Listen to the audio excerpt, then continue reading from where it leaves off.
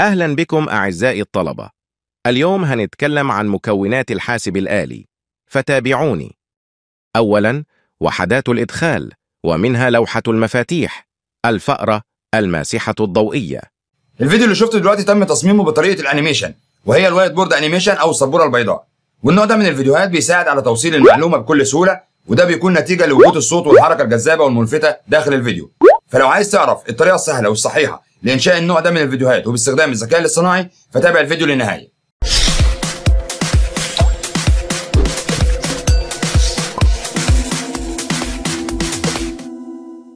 أهلا بكم من جديد معكم وائل ربيع.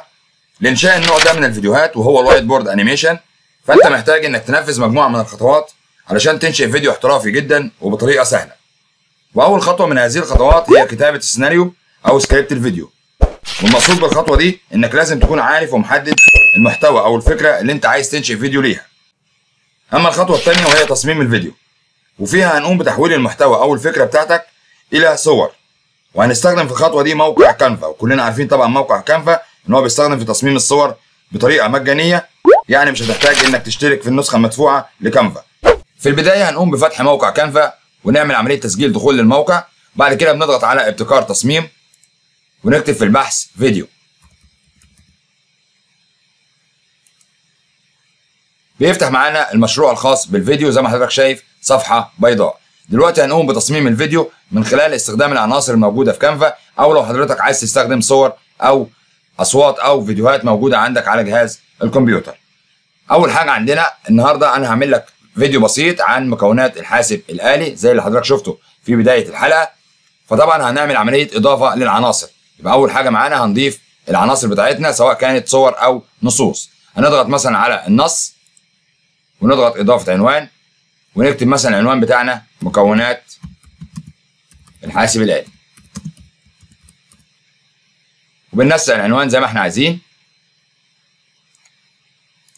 نغير اللون بتاعه مثلا. بعد كده هنبتدي نضيف في العناصر هنضغط هنا على العناصر ونكتب هنا أي عنصر إحنا عايزينه. مثلا مكونات الحاسب الآلي هنجيب مثلا على شكل سبورة مثلا على سبيل المثال هنكتب هنا سبورة ونبحث عنها ونضغط على تصميم جرافيك عشان نجيب لي الصور اللي هي الجرافيك. طبعا بيديك أشكال كتير من السبورات بتختار الشكل اللي حضرتك عايزه. مثلا أنا هختار الشكل ده. نصغر كده الحجم براحتنا.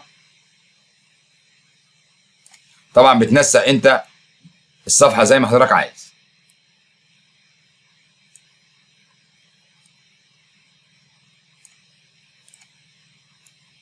تكبر تصغر زي ما حضرتك عايز بالظبط.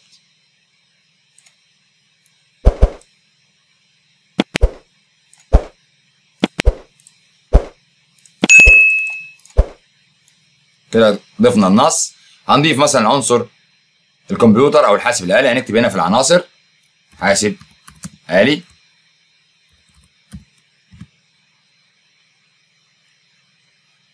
ونختار مثلا الصورة دي.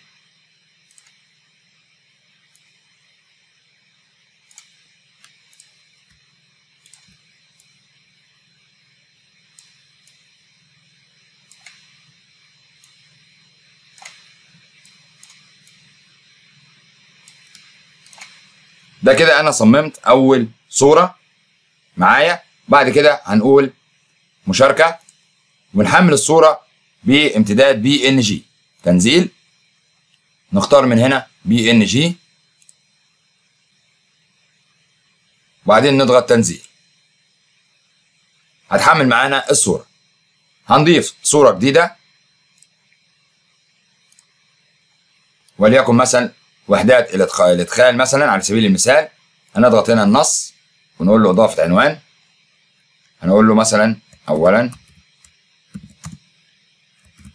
وحدات الإدخال. وننسق الصفحة زي ما إحنا عايزين نغير من هنا النص أو شكل النص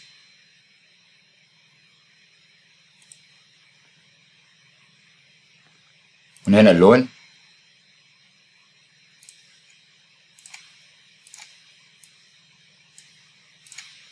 بالنسبة لوحدات الإدخال عندنا وحدات الإدخال طبعا لوحة المفاتيح والفارة والمساحة الضوئية. هنكتب هنا لوحة المفاتيح في العناصر.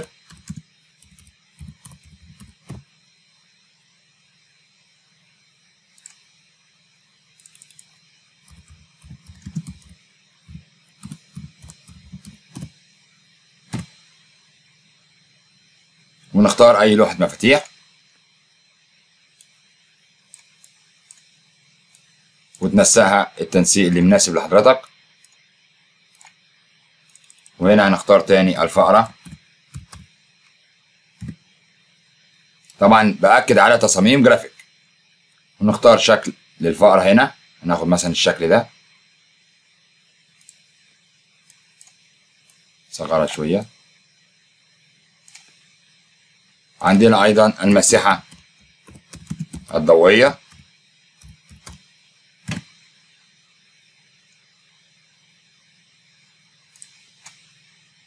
نصغر طبعا أنت بتنسق الصفحة حسب اللي يناسب حضرتك. هنجيب مثلا هنا أسهم. ناخد السهم ده مثلا. نعمل له انعكاس. صغره شوية. تدوير من هنا. لو عايز أغير لونه بضغط هنا وأغير لونه. وأعمل عملية نسخ للسهم بقف عليه كده واضغط على علامة التكرار. واخده كده وأعمل له انعكاس. وبعدين تدوير. انعكاس نعدله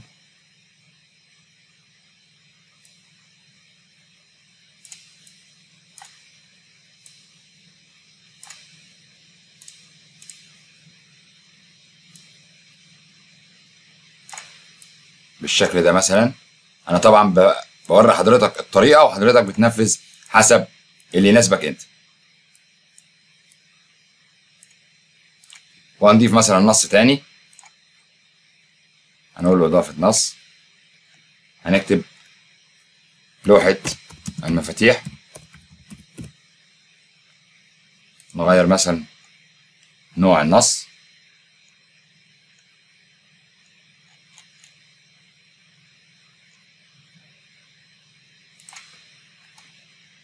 ولونه.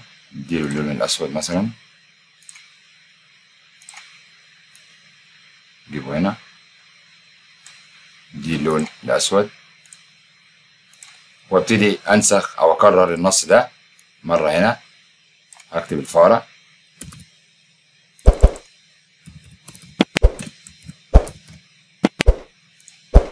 وأكرره مرة أخرى وأكتب هنا مثلا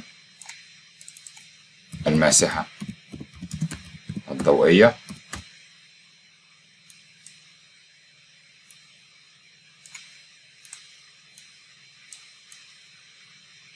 بتنسق الصفحة زي ما حضرتك عايز واللي يناسبك طبعا.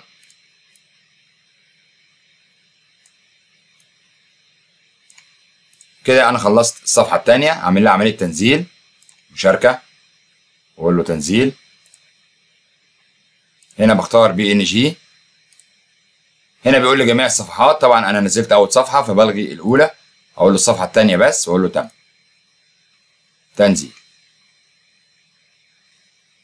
هكتفي بالصفحتين دول كمثال للتوضيح. دلوقتي بقى هبتدي على الخطوة أو هبدأ الخطوة اللي بعد كده وهي تحويل الصورة إلى whiteboard animation هضيف لها الحركة. بنضغط هنا على التطبيقات. اولا بضيف هنا صفحة من علامة الزائد هنا بضغط على إضافة صفحة عشان تنزل لي فيها الفيديو الجديد. إضافة صفحة هنا وبعدين أضغط على التطبيقات. وأجيب تطبيق اسمه Speed Paint Speed Paint أول مرة بيظهر معاك التطبيق بتلاقي هنا كلمة فتح كل اللي عليك إنك بتضغط على فتح. طبعا أنا عشان استخدمته قبل كده فظهر معايا على طول بضغط عليه. وهنشوف مكونات هذا التطبيق. هنا بيقول لي choose file بجيب الصورة اللي أنا عايز أعمل لها الحركة. بضغط على choose file طبعا هلاقي في الصور اللي أنا حملتها أول صورة أهي ودي تاني صورة. أضغط على أول صورة اللي هي مكونات الحاسب الآلي. وأقول له open كده أنا ضفت اول صورة بنزل في الاسفل هنا sketch duration وده هنا بيقول لك وقت الرسم الخاص بهذه الصورة. انت عايز الصورة دي تترسم في وقت قد إيه؟ طبعا المعقول خمسة أو خمس ثواني. هنا عندي ال color fill duration يعني وقت التلوين. لو حضرتك عايز الصورة تتلون أو تظهر الألوان اللي فيها فبتختار الوقت من هنا. لو مش عايز الصور تظهر أو الألوان بتاعتها تظهر بتضغط no color fill إحنا هنقول له مثلا 3 يعني لون الصورة في 3 ثواني يبقى كده الفيديو اجمالا اجمالا الفيديو ده هيكون 8 ثواني يعني من 8 ل 9 ثواني الإجمالي. عندي هنا ال background color اللي هو لون الخلفية طبعا اللون الأبيض لو حضرتك عايز تغيرها بتضغط هنا وتختار اللون اللي أنت عايزه. هنا شكل اليد اللي حضرتك عايزها تظهر سواء الشكل ده أو ده أو ده أي شكل حضرتك عايزه بتحدد الشكل. وبعدين تقول له هنا تفعل add fade out effect لو انت عايز تعمل عملية fade out اللي هي الاختفاء أثناء العرض بفعلها هنا وبعدين أضغط على animate image طبعا بتنتظر لحد ما يتم تحويل الصورة إلى فيديو بتاخد منك أقل من دقيقة وحسب العناصر الموجودة داخل الشريحة. هحولها وأرجع لحضرتك مرة أخرى. وبعد ما تم تحويل الشريحة إلى فيديو هتظهر قدامك بالشكل اللي حضرتك شايفه ده. كل اللي عليك إنك هتحرك الفيديو كده وتظبط أبعاده بكامل الصفحة. كده أصبح عندك فيديو لو عايز تشوف شكله بتضغط على هنا. بلاي. زي ما أنت شايف تمت الحركة للشريحة بتاعتي. ده كده عندي أول فيديو اللي هو خاص بأول شريحة.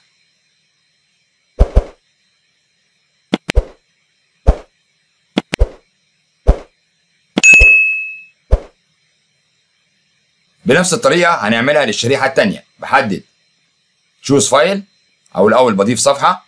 وبعدين أقول له choose file أختار الصورة. وأقول له open وهنا هنخليها خمسة زي ما هي خمس ثواني وهنا ثلاث ثواني. وشكل الإيد أهو زي ما هو. وبعدين أقول له animate image هحول الصورة وأرجع لحضرتك مرة أخرى. بالفعل تم تحويل الصورة إلى فيديو زي ما حضرتك شايف. هنعمل زي ما عملنا في الفيديو السابق. هنظبط إعدادات الفيديو أو آسف إبعاد الفيديو.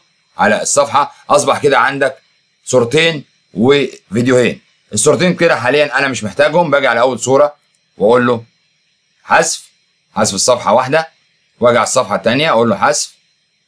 بضغط على ثلاث نقط وأختار حذف صفحة واحدة. أصبح عندي الفيديوهين أهو موجودين. كل اللي عليك إنك هتضغط على مشاركة. وبعدين أقول له تنزيل.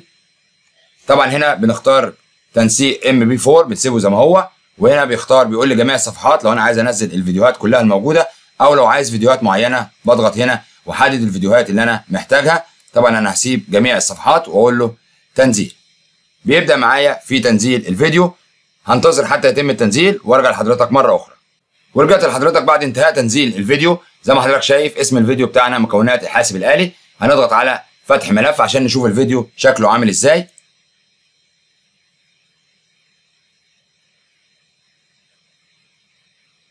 زي ما انت شايف الفيديو موجود ولكن ما فيهوش صوت. وهتيجي هنا النقطة اللي بعد كده أو الخطوة اللي بعد كده وهو استخدام الذكاء الاصطناعي في وضع الصوت على الفيديوهات.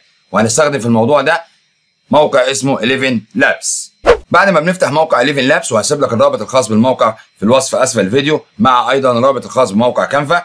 كل اللي عليك إنك بتكتب في المربع الأبيض ده النص اللي أنت عايزه يتحول إلى صوت والموقع ده بيستخدم في تحويل النص إلى صوت باستخدام الذكاء الاصطناعي. ولو حضرتك طبعا بتستخدم الموقع لمره واحدة فهو بيسمح لك ب 333 حرف بس. ولكن لو حضرتك عايز أحرف أكتر من كده فبتعمل عملية sign in للموقع وبتسجل عليه عادي خالص باستخدام ال Gmail الخاص بيك وبيسمح لك ب 10000 كلمة. إحنا هنا بديك بس كمثال بتكتب هنا النص اللي حضرتك عايزه يظهر في الفيديو بتاعك. يعني مثلا السلام عليكم.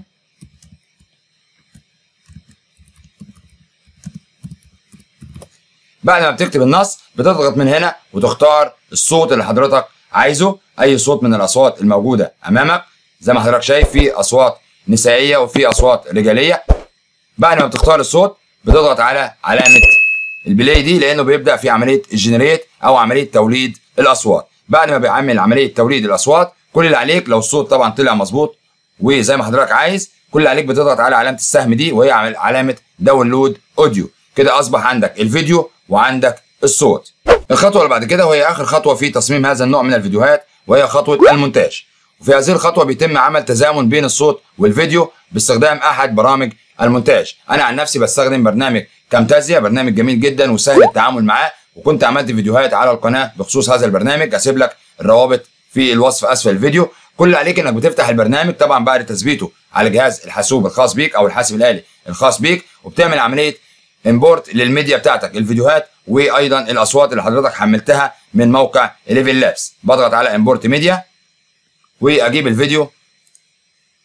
وأيضا أضغط على علامة الزائد دي اللي هي import media أيضا. وأجيب الأصوات اللي أنا حملتها. طبعا أنا مجهز عندي هنا أصوات. هناخد أهلا بكم. ده الصوت اللي أنا نفذته. وهاخد وحدات الإدخال. وأقول له open. كده أصبح عندي الفيديو والأصوات. بنعمل عملية إدراج للفيديو في ال timeline وأيضا للأصوات حسب ترتيبها.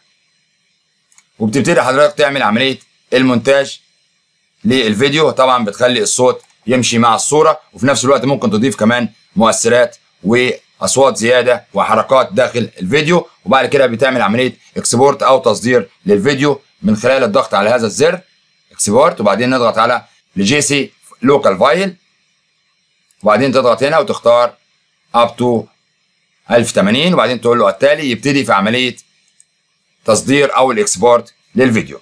وبتظهر النتيجة زي اللي حضرتك شفتها في بداية الفيديو. وبكده أكون وصلت لنهاية حلقة النهارده. ولو عجبك الفيديو ما تنساش تعمل like و share للفيديو.